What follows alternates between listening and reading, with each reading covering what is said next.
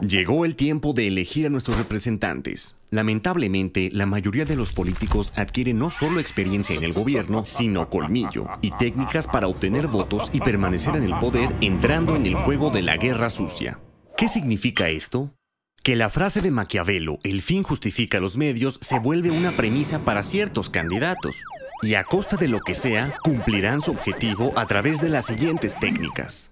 Desviar la atención, ¿Recuerdas al chupacabras?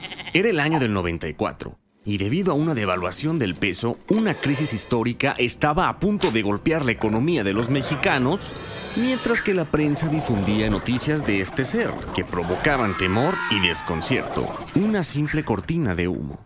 Creación de falsos enemigos. Esto consiste en crearle a la oposición una imagen siniestra y peligrosa a través de mentiras. Esto genera miedo, el temor nubla el juicio y asumimos que hay un riesgo sin estar seguros. Nos alarmamos sin indagar más allá. Y claro, están también las falsas promesas. La época electoral es un semillero de falsas promesas que solo tratan de seducir a partir de ilusiones y ocurrencias.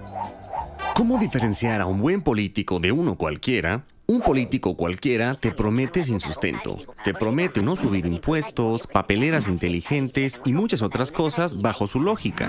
Una vez estando en el poder, ya nadie puede hacer nada.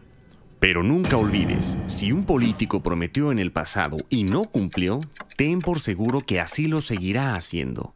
En cambio, un buen político no solo dice qué es lo que va a hacer, sino cómo lo hará, quién participa y en cuánto tiempo lo realizará. Recuerda que la realidad se construye con acciones, no palabras, y así cada candidato se forja una credibilidad.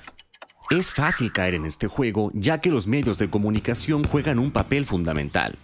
Quien tenga más dinero para publicidad podrá comprar una mejor imagen.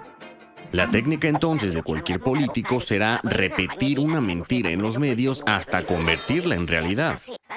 Evita caer en los juegos de la guerra sucia siguiendo estos pasos. No te alarmes. No te dejes engañar. Cuestiona. Infórmate sobre el trabajo de cada político. Hechos, no palabras. Comunica e intercambia tus ideas sobre los candidatos con otras personas. Dialoga. Somos ciudadanos pensantes, y el único enemigo que tenemos no son los partidos políticos, sino la desmemoria y la desinformación. Nuestra mejor arma es el conocimiento. Movimiento Ciudadano.